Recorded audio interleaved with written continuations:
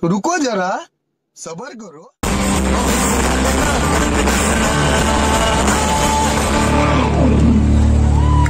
That, that was that was sounds of India.